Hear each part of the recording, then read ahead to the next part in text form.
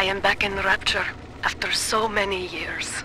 The little ones I rescued are grown up and think of me no more.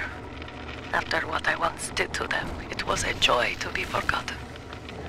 But now, all around the world, children vanish by the sea, kidnapped.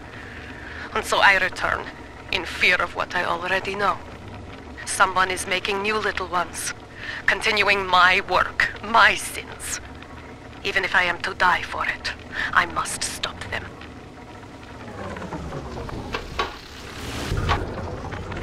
Sophia Lamb has taken Rapture and is responsible for stealing children from the surface.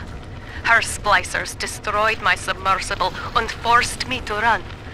But the ticket booth here is secure, and though I cannot trust him, Sinclair is a valuable ally. I have already rescued a few of the new little ones from Lamb. They all want to know how we will get home. I wish I had the right words for them.